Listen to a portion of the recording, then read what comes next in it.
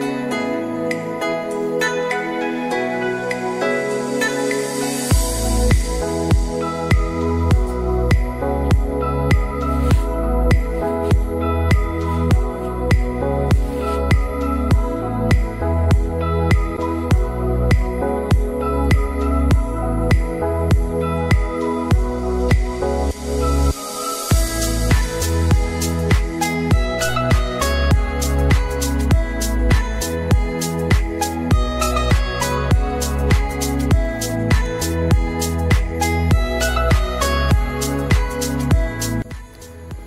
दोस्तों? कैसे हैं आप सब लोग? मे भी संडे को बहुत ही एंजॉय कर रहे होंगे, मगर संडे को मैं अपने गार्डन में वर्क कर रही हूँ।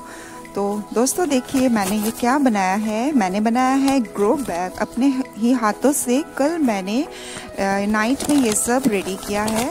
ये मेरी राइस के जो बैग्स आते हैं, मैंने उनको फेंका नहीं है, मैंने उनको रीयूज़ किया है।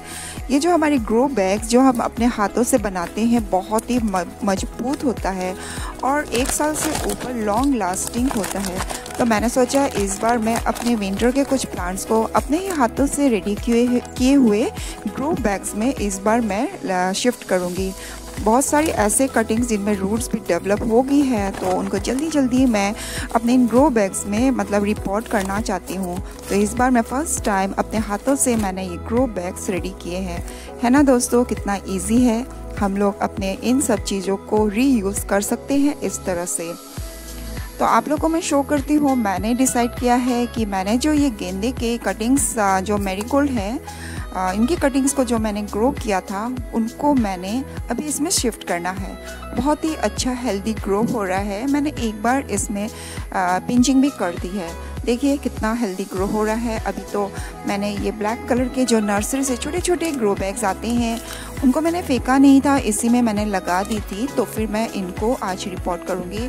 काम तो बढ़ता रहता है, ये सब मैं आज कर लूँगी तो मेरा काफ़ी हद तक काम मेरा हल्का हो जाएगा। इसलिए संडे को भी मैं छुट्टी नहीं मना रही, बल्कि बहुत सारे मैं अपने गार्डन के वर्क्स करूँगी। आज तो धूप भी बहुत ज़्यादा है, मगर क्या करें, काम तो कंप्लीट करना ही होगा, है ना? तो देखिए, मैंने सॉइल प्रिपरेशन कर ली है। दोस्तों, ये मेरे सारे पुराने रीयूज़ कर रही हूँ इन सॉइल को। मैंने एक दिन पहले इनको धूप में बहुत ही अच्छे से ड्राई अप कर लिया है। तो आप लोग भी अगर अपने पुराने मिट्टी को रीयूज़ करना चाहते हैं तो फिर इसी तरह करिए। नीम खली भी डाल दी है अभी मैंने। तो ये ये मेरीगोल्ड के प्लांट्स में जब भी हम रिपोर्ट करते हैं तो कोई भी फंगिसाइड नीम खली ज़रूर डालना। तो आप लोग इस तरह से सॉइल को रीयूज़ कर सकते हैं। और इसमें मैंने डाल दिया है वर्मी कंपोस्ट अच्छे से मैंने डाल दिया है क्योंकि जो हमारे विंटर फ्लावर्स प्लांट होते हैं, उनको स्टार्टिंग में ही ज़्यादा से ज़्यादा हमें फर्टिलाइज़ कर देना पड़ता है। तो वैसे मेरे सॉइल तो बहुत ही सॉफ्ट है, इसमें सैंड पहले से ही मिली हुई है। और विंटर फ्लावरिंग प्लांट में मैं ज़्यादा सैंड का यूज़ नहीं करती हूँ क्योंकि सर्दियों में ये जो हमारे सॉइल होते हैं, बहुत जल्दी ड्राई हो जाते हैं और उनको मॉइस्ट करके रखना पड़ता है। तो अभी मेरे पास ये कोकोपीट नहीं था तो मैंने कोकोपीट यूज़ नहीं किया। वैसे भी मैं अपने गार्डन के प्लांट्स में कोकोपीट बहुत कम डालती हूँ, क्योंकि अचानक कब कभी मतलब अन सीज़न यहाँ पे बारिश हो जाती है तो फिर बारिश होने के कारण अगर कोकोपीट डालें तो फिर वो मॉइस्चर को, पानी को होल्ड करके रखती है। जहाँ पर कम बारिश होती है, वहाँ पे कोकोपीट को यूज़ ज़रूर करना चाहिए, मगर मैं बहुत ही कम यूज़ करती हूँ। दोस्तों, देखिए, मैंने ये ग्रो बैग्स आज मैं फ़र्स्ट टाइम अपने हाथों से रेडी किए किए हुए ग्रो बैग्स में आज प्लांट लगाऊँगी। तो ये जो देख रहे हैं, मेरे गार्डन के ड्राई लीव्स हैं, जिनको मैंने बहुत अच्छे से सुखा रखा था तो इनको भी हमें री यूज़ करना चाहिए। नीचे एक लेयर मैंने सूखे पत्तियों को डाल दिया है और जब तक इनमें फ्लावरिंग आएँगी तो ये बहुत अच्छा सा हमारा ऑर्गेनिक फर्टिलाइज़र बन के नीचे से रेडी हो जाएगा और रूट्स उसमें से बहुत ज़्यादा न्यूट्रेन अपने प्लांट्स को देती रहेगी। तो बार बार हमें खाद देने की भी ज़रूरत नहीं होगी। तो इसलिए मैंने नीचे ये ड्राई लीव्स को दे दिया। तो हमें अपने ड्राई लीव्स को भी यूज़ करना आना चाहिए। तो एक एक करके मैं इसमें रिपोर्ट कर देती हूँ, देखिए। और नीचे के जो ड्राई लीव्स और ख़राब लीव्स हैं, उनको मैंने हटा दिया है और हल्के हल्के हाथों से इन ग्रो बैग्स को पुराने वाले उनको हटाऊँगी और इसमें रिपोर्ट कर दूँगी। तो आज के दिन मैं बहुत बड़ा काम ये सब कर रही हूँ। दोस्तों, मैंने सोचा है करके कि सबसे पहले मैं अपनी कटिंग्स जो मैंने बहुत सारी लगाई हुई है, बस ये मैरीगोल्ड की ही नहीं, काफ़ी ऐसे कटिंग्स है, जैसे है बिस्कस और ये चांदनी के, बोगनविलास के, और भी ना जाने क्या क्या मैंने कटिंग लगाई है, उनको फ़र्स्ट मैं सब रिपोर्ट कर दूँ। जब मेरा ये बहुत बड़ा काम ख़त्म हो जाएगा तो फिर मैं अपनी गार्डन की मेन वर्क जो साफ़ सफ़ाई का काम होता है, उसको मैं स्टार्ट करूँगी। इसलिए मैंने सोचा है, जो इन दिनों मुझे करना था, कुछ हेल्थ प्रॉब्लम के कारण मैं नहीं कर सकी तो इनको फ़र्स्ट मैं कर लेती हूँ, क्योंकि ये भी एक बहुत बड़ा काम है दोस्तों। इनको अगर हम ख़त्म कर लेंगे तो बहुत बड़ा हेडेक हेडेक मतलब जो हमारा ये काम बचा है, इन, ये अभी इनको करना बहुत ज़रूरी है, क्योंकि विंटर से पहले हमें बहुत सारी तैयारियाँ करनी पड़ती है। तो ये अगर ख़त्म हो जाए तो बहुत बड़ा वर्कलोड मेरा ख़त्म हो जाएगा, तब मैं सोच पाऊँगी कि आगे की तैयारी और मैं क्या करूँ। तो आप लोग देखते जाइए।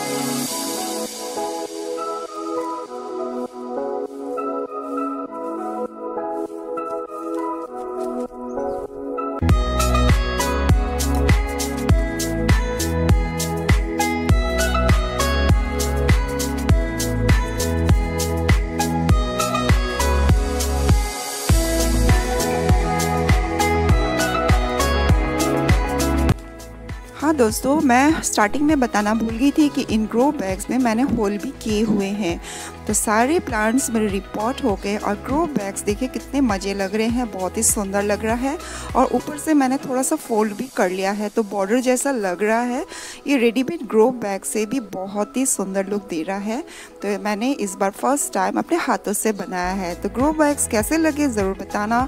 और ये रिपोर्ट भी हो गए। अभी मैं इनमें पानी डाल दूँगी। दोस्तों, जब भी हम रिपोर्ट करते हैं तो अच्छे से जब तक नीचे से ड्रेन आउट नहीं हो जाता एक्सेस वाटर अच्छे से पानी डालना है। और इन दिनों मेरा वाटर कैन भी टूट चुका है तो एक नया लाना पड़ेगा। तो वाटरिंग भी हो गई है अच्छे से। है ना दोस्तों? अब कितना सुंदर लग रहा है। मेरे सारे प्लांट्स ग्रो बैग में लगा दिए हैं। अभी मेरे फ्रेंच मैरीगोल्ड के काम भी बाकी है, जिनको मैं किसी और दिन करूँगी।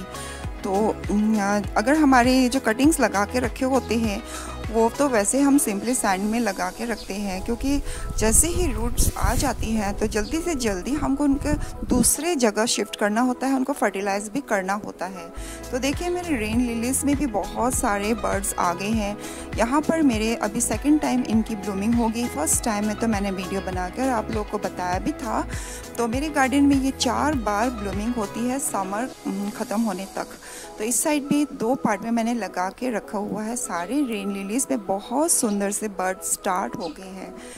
तो आज मेरा बहुत सारा काम ख़त्म हो गया है। अब धीरे धीरे और भी बहुत सारे वर्क हैं, उनको भी निपटाना पड़ेगा।